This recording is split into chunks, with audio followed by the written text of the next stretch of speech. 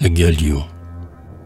À travers la mer tropicale, sous un soleil à rendre fou, avec des lingots pleins sa cale, le navire vient du Pérou. Le blason d'Espagne et d'Autriche palpite sur son pavillon.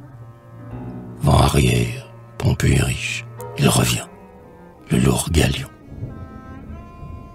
La rançon de vingt rois voyage dans son flanc de l'onde émergent, et l'écume de son sillage est comme une sueur d'argent.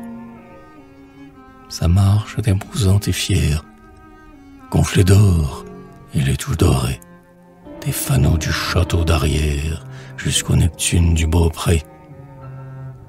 Et la caronade qui baille, aux sabords sculptés d'ornements, semble être chargée à mitraille de saphir et de diamants.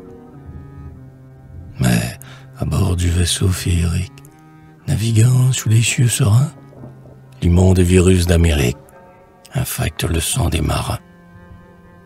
La hideuse floraison pousse sans que rien n'y puisse obvier sur le frais visage du mousse et sur le front brun du gabier.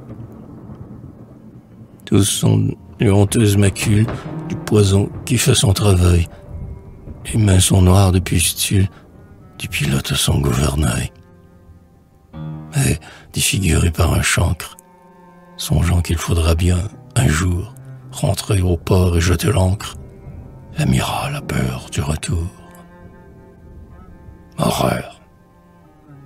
Grâce au vent qui l'entraîne, le sinistre vaisseau trésor ramène une double gangrène, la lèpre et le besoin de l'or.